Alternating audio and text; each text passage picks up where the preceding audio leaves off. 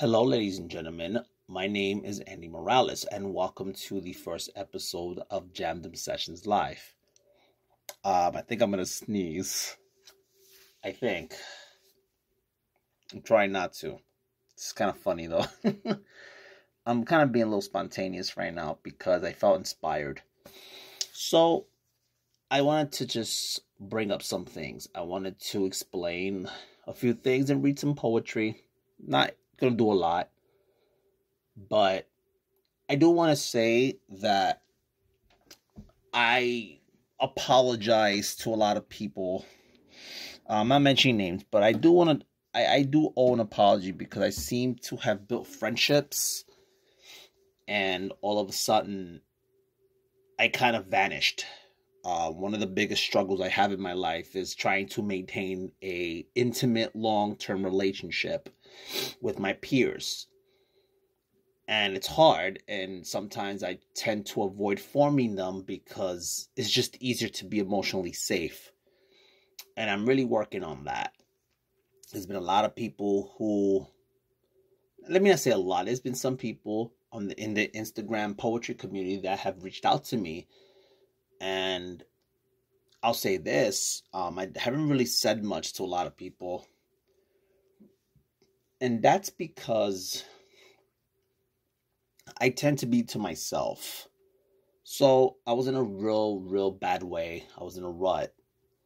You know, not um my marriage was great. It's just, you know, I was just going through some things. You know, my living situation with my wife and my son was just not that great until it's better now, but it wasn't that great.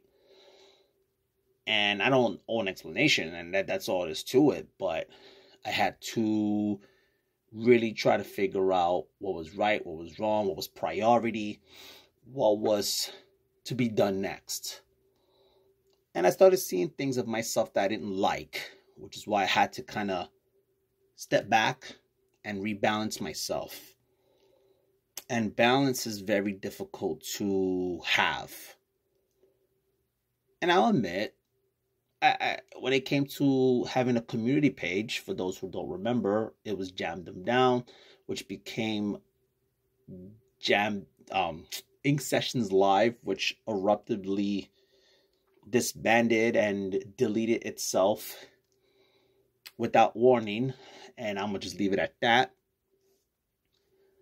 And I just wasn't inspired. And I've realized, I believe I got caught up in the bullshit. Let's just be honest. You know, um, I got caught up in the bullshit. I got caught up in the whole, hey, um, I liked the, the idea of having a community page because it was very inspiring, but not really understanding a lot of things. And I'll just leave that there.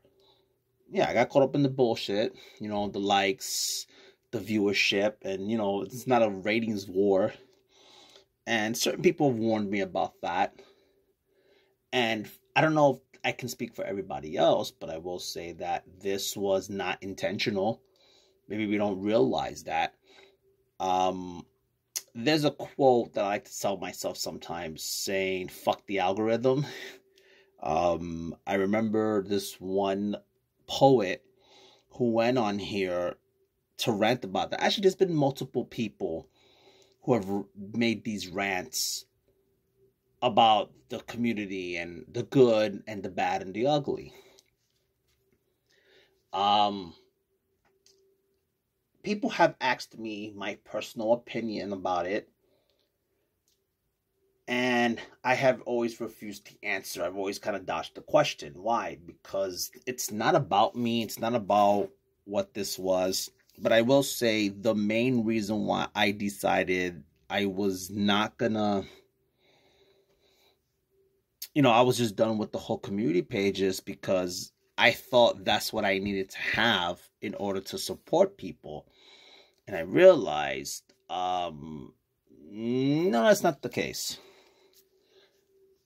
So, to my former team mates of Jam Them Down that officially came to um, Ink Sessions Live, I'll say this you know, I apologize to each and every one of you. You know, um, even though I never approached some of you about some things, but I will say that I apologize. I will be tagging people on this to listen, and I hope you listen to this podcast. But at the same time, um, I never meant no harm. I'll put it that way. I meant no harm. I never meant to hurt anybody. I never meant to disrespect anybody. And it's just something that, you know, I'm really not that way, if that makes sense. You know, um, and, I'm just leave it just there. So, so I, I don't need a community page, and I'm actually honestly okay with that. And I will say this there was one particular poet that made me see that. Um, someone that I consider a friend. Uh, I'm going to keep her anonymous just out of respect because I don't want to mention names, but she made me see that a lot. And this was someone that was also on the team. And at the end of the day, I realized I'm okay if I didn't have that.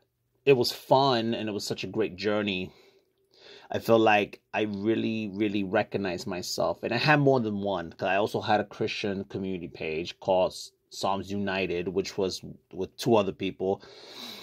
And I realized, and after talking to certain people, I realized that particular page was done a little bit prematurely. It was premature, and I just also wanted to apologize to those people as well and it is what it is now. So I've decided, I, I, I mean, not that I decided. So I, I got inspired, and I decided I'm gonna take it my way, and that's it. Um, screw everything else. And at the end of the day, I'm gonna run at my own pace. I don't need a community page for that. I say, hey, I'll use my page and I'll have a page for the podcast and I'll just I'll post on both pages and yeah, that's it. So I was originally gonna do a thing where it was gonna be a clip preview on the podcast page, but then the actual full length episode will be on Spotify and all that other stuff, and it will. But I also decided I'm going to upload the whole episode moving forward on Instagram too. Like I might as well. So expand the horizons because you never know who's listening. And I hope I hope people do listen to it. But I don't know if it's kind of taken away from some things. But it is what it is. So, with all that being said, um, I hope everyone's doing okay because this pandemic has been crazy. So many true colors are coming out. I've actually had certain friends that have really turned their backs on me during this time. People that I had stopped talking to me for no reason. I even do anything, or at least that's what it came out. That's how I see it in my eyes. But I figured I do want to address that Ink Sessions Live no longer exists. Jam Them Down no longer exists. This is Jam, Se- Jam Them Sessions Live. And the backstory basically with all this is basically the fact that Jam is my actual initials. Juan Andres Morales, but please don't call me Juan. That's just weird. Um, the only people who call me Juan is people at work, and that that's just crazy. So please don't jam. No. So um, so I want to have fun with it. I do. I'm not gonna be all me all the time. It's just a start for this second season, episode one of the second season of Jam Sessions Live. But I will be having guests, and if you want to be a part of this with me, where hey i want to be a guest i want to have a conversation i want to tell my story then hey send me a dm we can do something. And i don't see why not. Different walks of life. Doesn't have to be religious doesn't have to be poetry. Hey i i know people who do music that i plan to have them as guests as well let's all you know build this community into a whole nother level um, so anyway, So as far as community pages go, I am done with all that shit. I'm gonna have fun my way, and that's it. The first piece I'm going to read, because I want to read some things that I like. It is by Stacy underscore Conventry underscore is underscore here. And the title of this piece is called B. There's no arithmetic to solve or puzzle pieces missing.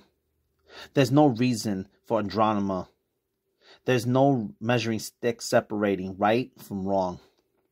All there ever is and all there ever was, love.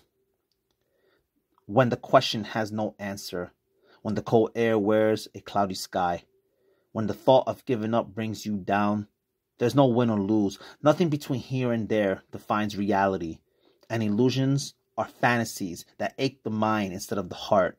Love.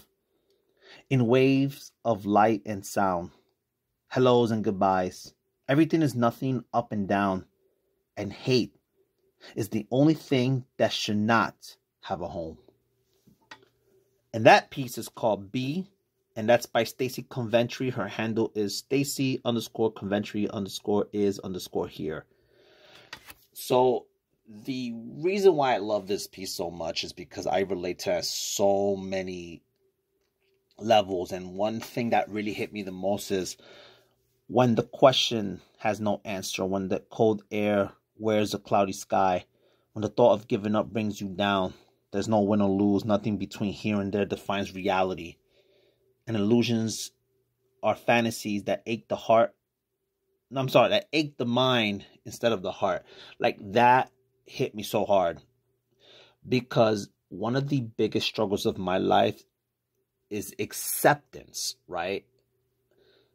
Accepting is the difficult, is the most, one of the most difficult things that I struggle with in my life because sometimes there are going to be questions that have no answer. And sometimes the thought of giving up does bring us down. There is no, sometimes there isn't just a win or lose. Sometimes it's just nothing. The part that says nothing between here and there defines reality, and illusions are fantasies that ache the mind instead of the heart. I know exactly how that feels like because, and not to get too personal, but when I was a child, I struggled a lot with my mind. I was sheltered growing up. And because I was sheltered, my mind went into these fantasy lands, these things that it felt so real. And, it is, it really is an illusional thing because when I had to snap back into reality, the thought of that thing not being real or that life not really being real, it hurts my mind. But sometimes I wonder, but did it also hurt my heart, right? Because me personally, I was always taught that the heart is so deceitful that wherever the heart goes, the mind follows. And it hurts so bad because I was never given love and affection. I was never given that attention, that that that brother or sister or family interaction, that togetherness. I've never had that growing up until now. And you know, not to get on a religious standpoint because I'm a firm believer of Jesus Christ. That's just who I believe in personally in my heart. And yeah, I neglect this as well because my new self and old self, which uh, it, the point is, is the whole aspect of it that I truly believe that my heart hurts from all the hurt that I've been through that no one really took the time to really sit down with me. No one really took the time to correct a lot of things that like when I wanted some correction done, nothing was done about it and I had to just shut the hell up and just take it you know, and it hurts. It hurts, you know. But the greatest thing about that is that hate is the only thing that should not have a home, and it's true. Because I was angry for a long time. I was resentful for a long time. And, and, and I felt like sometimes those things turned into hate. But what was I hating? And was I hating those things for the wrong reasons?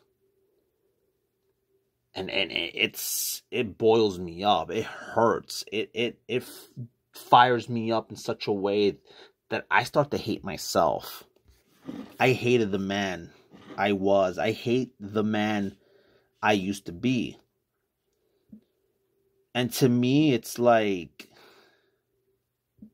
it just blows my mind, you know. And we talk about love, but I wrote a piece a while back saying that love is a four letter word that we've overcomplicated for so many years. And it's so true because everybody has their own definition of love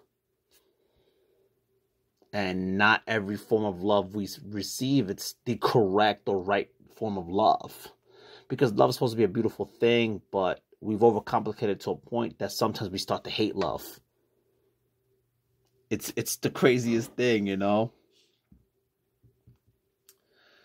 so that's um i don't know but uh that that's that's how it spoke to me so the next poet I'm going to read, it is someone that I consider a brother in Christ. He's a very genuine person. He is someone that I've communicate I communicate with him on from time to time. And we talk about real life stuff. We talk about personal stuff. And I'm very honored to know this man. So he goes by the handle of Poetry by Jairo. If you're not following that man, definitely follow that guy. I love his pieces.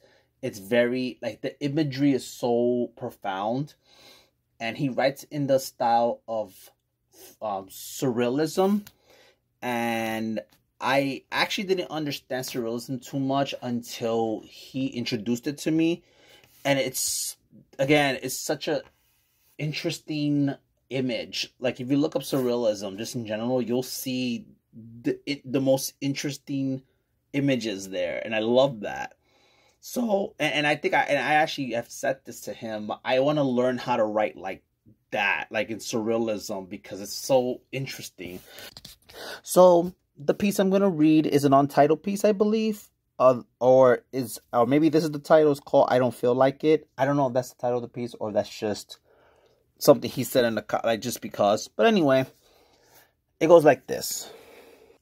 In the early fool's day, I am the biggest noise, and you take me for the breath that I am, silently drinking my coiled fears. But I speak and notice nothing, breathlessly, twice too simple. Not behaving like the spit of the iceberg. In the early fool's day, I am the biggest idiot, and I'd rather be with those who abuse sex than die, without having lived and loved enough to say what really matters.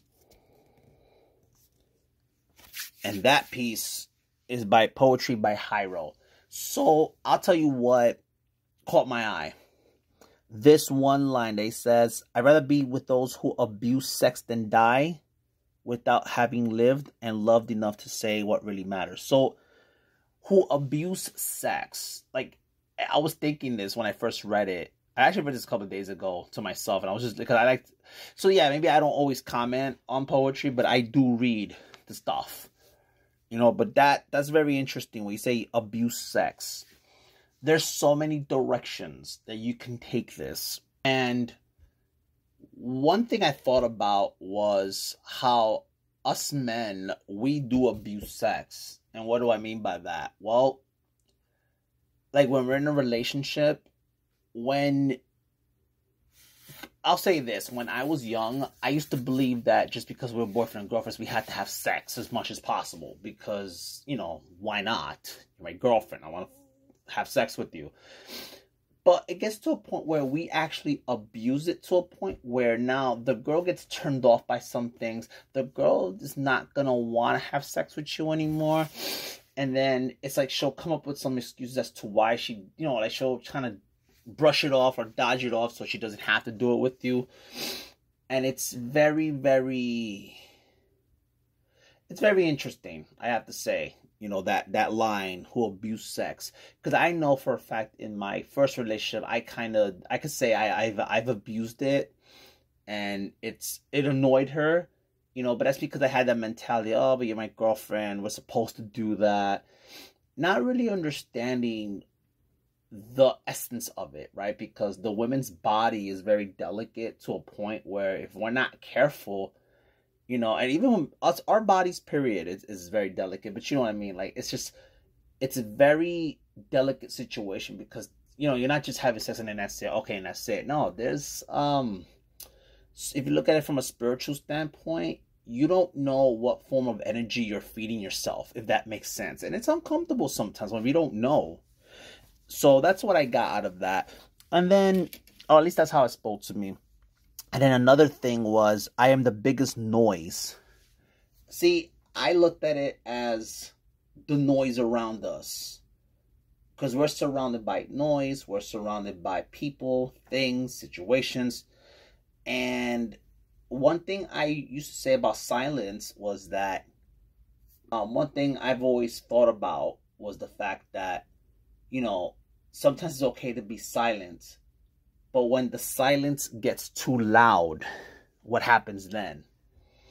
And I feel like the same thing with noise. When the noise gets too loud, how do you react?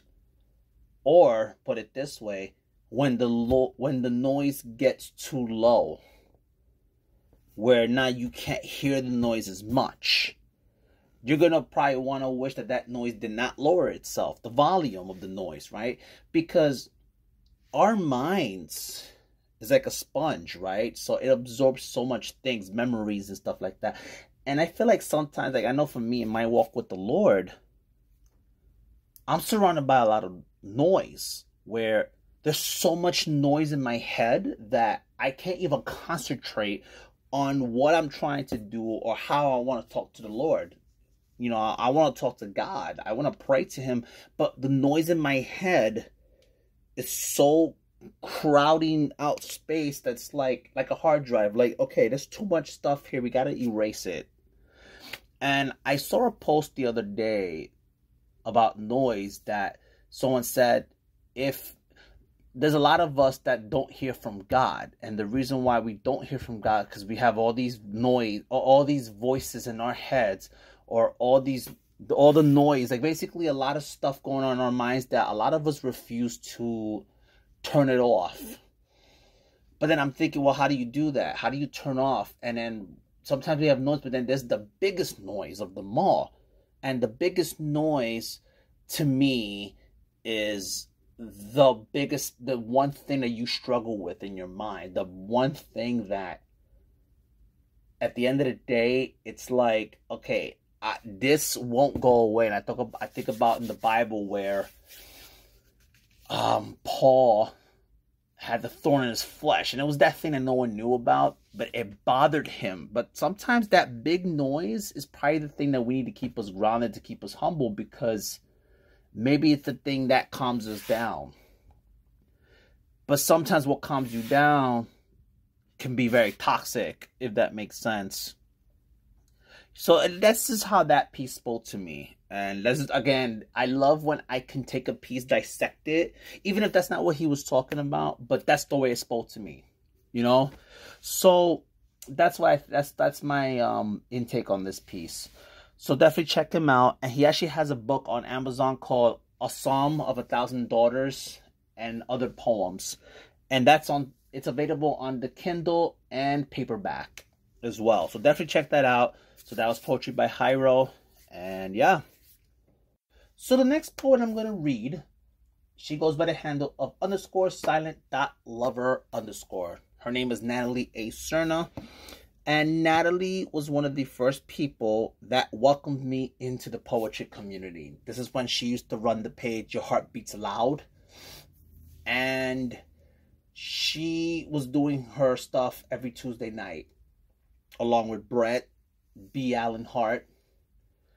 Um, she was one of the first people that welcomed me in to the community. She was the first community page that, you know, not only featured me but like reached out, say, hey, if you ever want to talk, you know, and, and you know, I'm here. You know, and and I have certain poets that I do talk to from time to time. Um, some people I haven't spoken to in a while, but the point is, you know, when,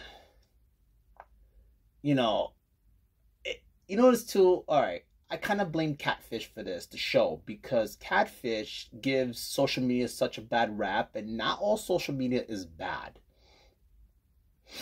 And it's crazy to me how there really is a sense of community out there that you could have a communication and build some kind of foundational relationship with, you know, in that way.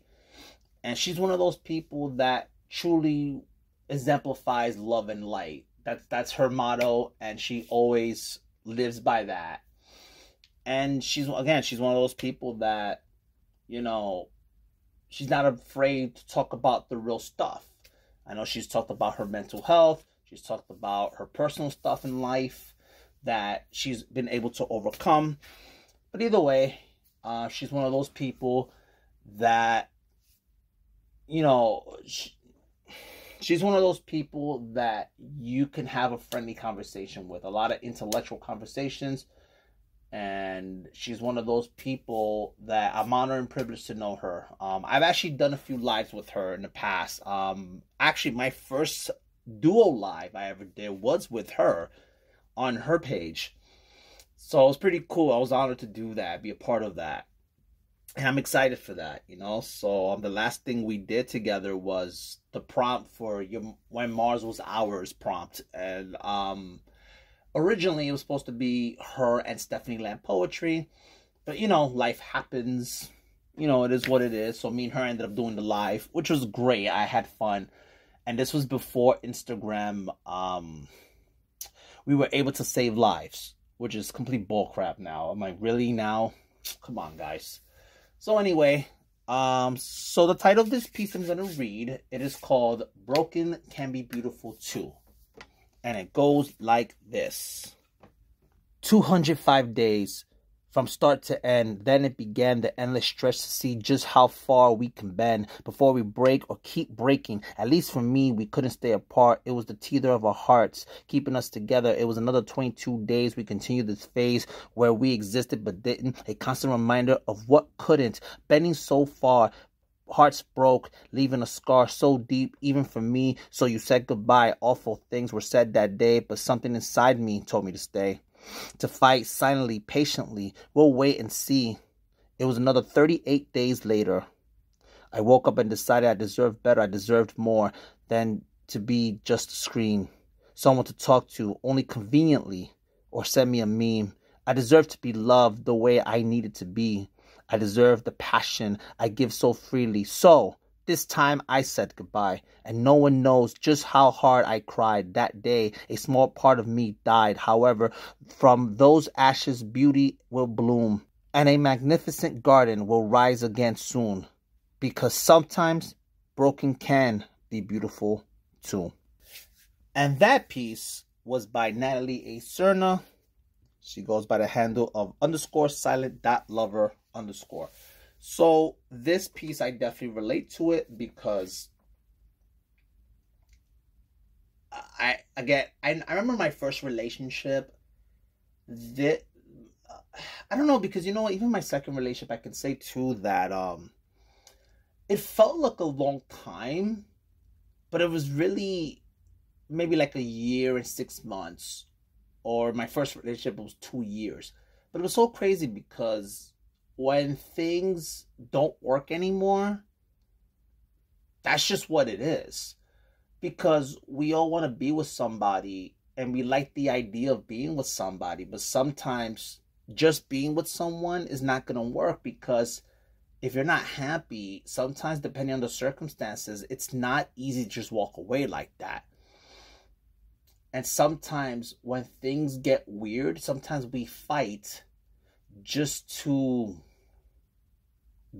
be there because you know i know for me personally i was always taught that you know through thick and thin you make the thing work no matter what at all by all means necessary.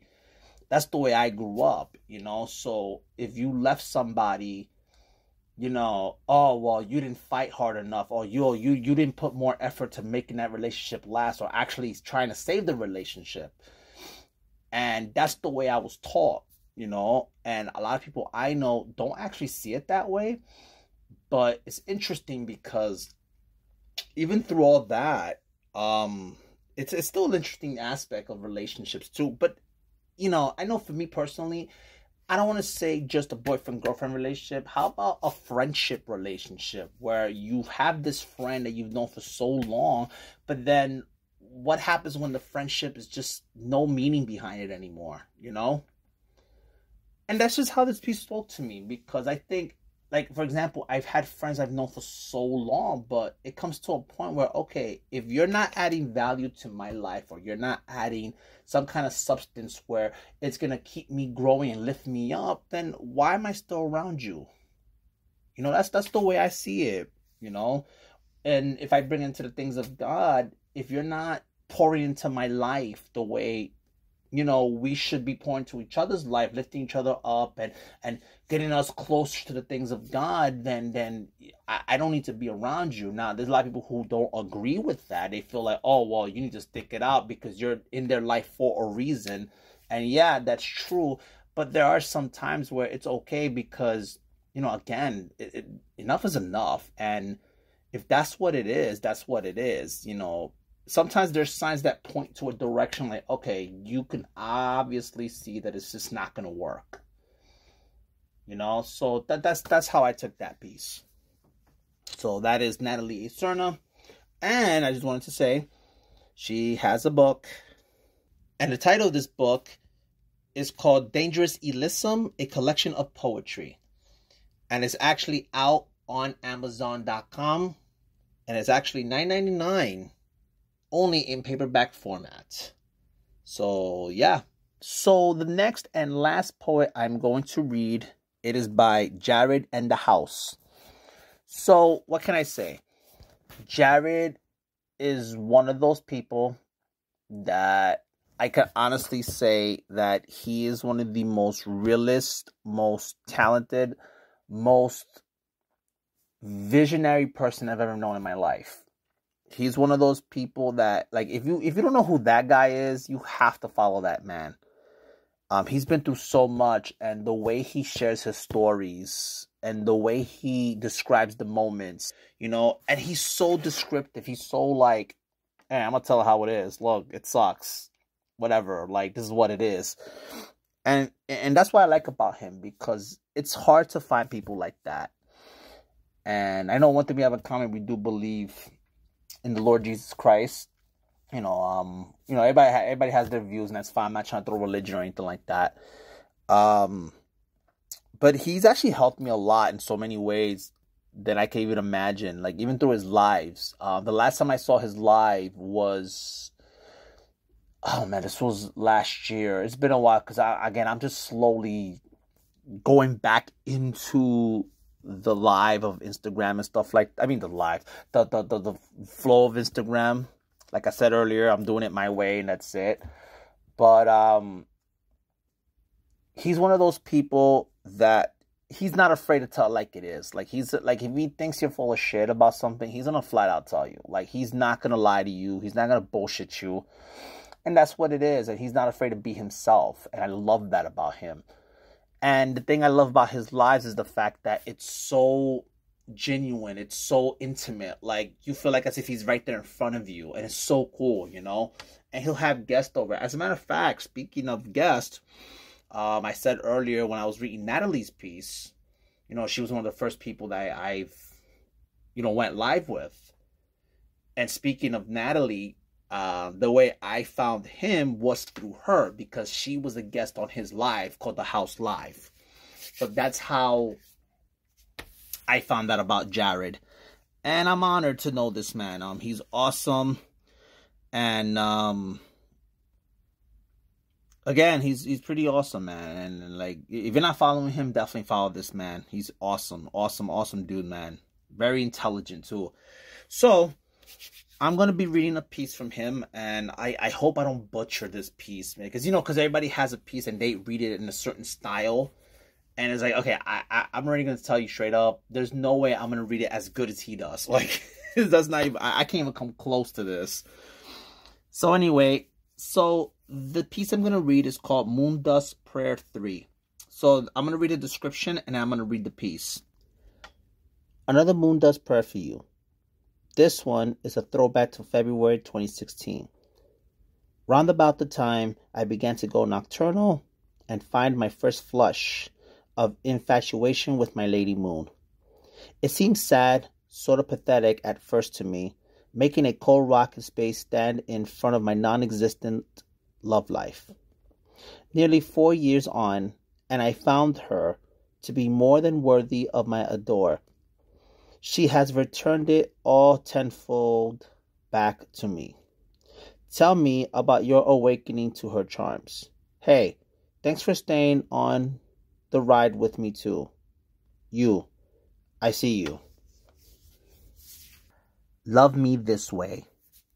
A hiding place when I need to be unseen, seeing only you by silken lights. Now lay me down from dizzy heights. Make night of noon, my lady moon.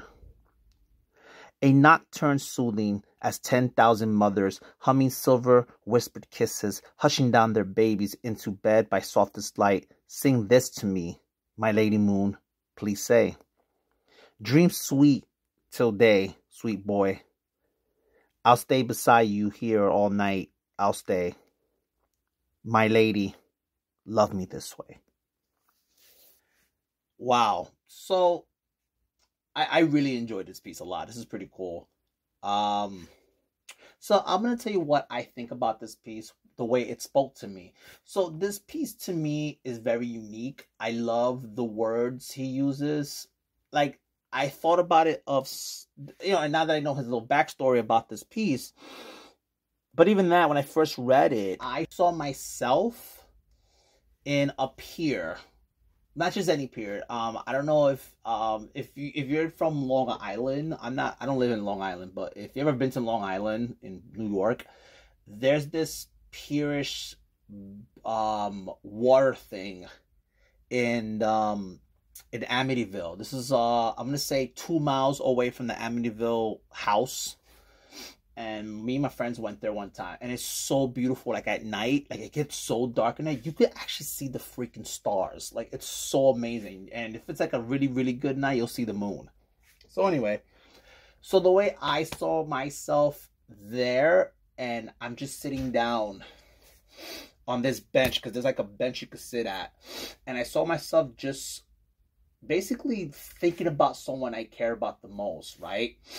And I'll say this, um I've had love life I've had love life I've had a love life that didn't really exist either. Um and I think that's okay, you know, and I saw myself as I'm like just thinking about life. I'm mesmerized by everything around me, right? Like I'm singing a song or singing a poem to to nature, to the moon, right? But then I see this woman sit right next to me and we're both just talking about how infatuated we are with the moon, uh, with the moon.